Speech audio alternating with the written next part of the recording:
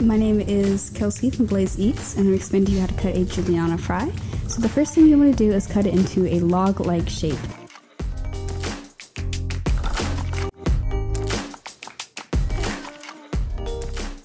And then you want to cut that log in half, and then you cut those halves in half.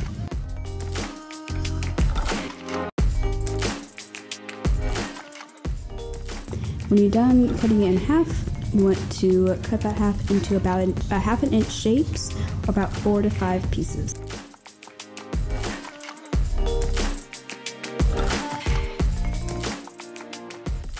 And that's how you cut a Juliana fry. Go Blaze!